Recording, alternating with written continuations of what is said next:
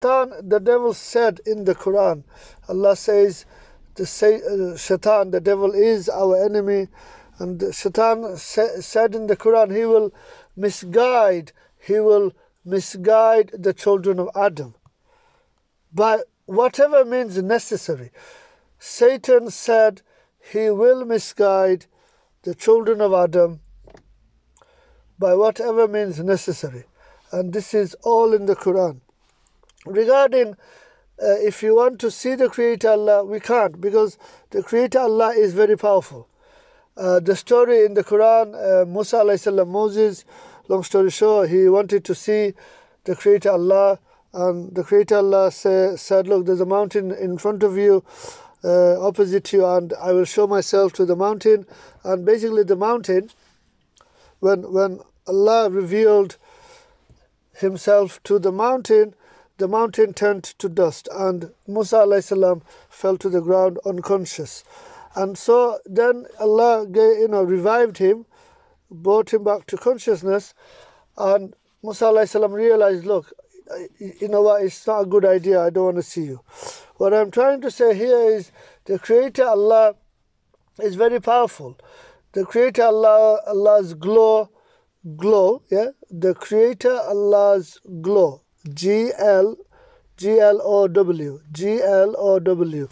The Creator Allah's glow is millions millions of times more powerful than the sun. You know, the sun, the our sun, which is the main sequence star.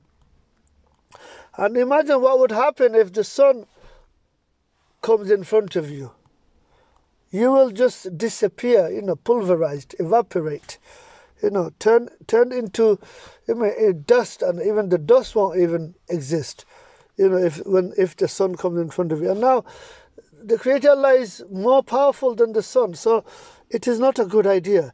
It is not very practical for the Creator Allah to come in front of us. You understand? And this is the reason. You see, the earthly body is very fragile, very fragile, and this is the reason the crea- this is the reason we will not we will not see the creator Allah as long as we are alive on earth inside earth. Yes.